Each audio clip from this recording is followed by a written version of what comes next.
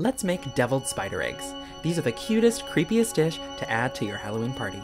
To make this recipe, you'll need mayonnaise, black olives, and eggs. To start, gently lower your eggs into boiling water and cook for 8 minutes.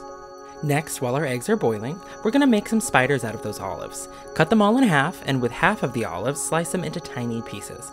This will create a body and legs.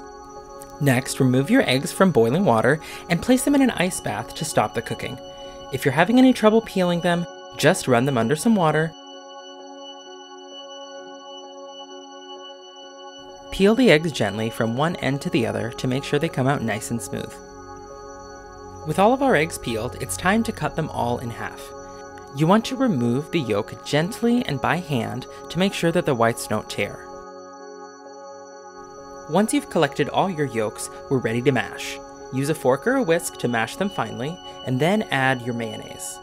Season with salt and pepper and mix well. Now we're ready to assemble. Place a small amount of the filling in each half of your egg white.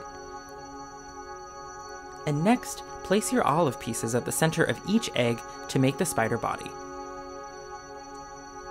Next, arrange the legs around each spider body until the effect is complete. And with our spiders complete, these are ready to devour. Enjoy!